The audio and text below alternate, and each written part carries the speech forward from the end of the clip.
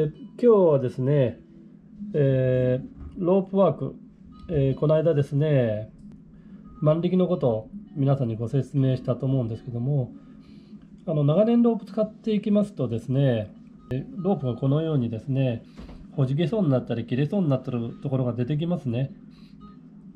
たまたまですね、えー、荷造りをしてる時にこんなとこ見つけた場合の処理の仕方ここが切れやすい場所と、えー、仮定しますね。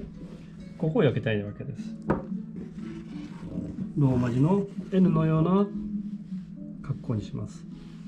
でこの場合ですねこの全体的にロープがこの部分短くなりますので全体的なロープの長さを考慮しながらこの切れそうな場所を避けるように動作をします。はい。右を下。ロックしましたね。これだけですとほどけてしまいます。したがってこっち側もロックする必要があります。これも同じように右を下。わかりますか？これでいいです。もう一度やりますよ。ほどきやすく運送中はほどけにくい。これが必要とされますよね。やりますよ。L の格好を作ります。ここが切れそうな場所これを右を下ロックします。これですね。からこちらもロックします。こんな感じですね。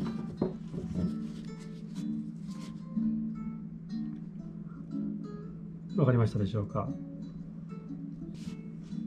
荷物の縛り方なんですけども船で輸送する場合車で輸送する場合運送中はほどけにくくかつ仕事が終わってじゃあロープを解放しようという時には簡単にこう分解できる。これが要求されますよね。ロープの縛り方にはこのように用途によってほどきやすい。また非常にほどきにくい。またはほどけてはいけない。そういう縛り方があると思います。今後ともですね、いろんな縛り方をご紹介します。私で、えー、分かる範囲で教えますので、どうか、えー、皆さんまたこの番組においでください。チャンネル登録よろしくお願いします。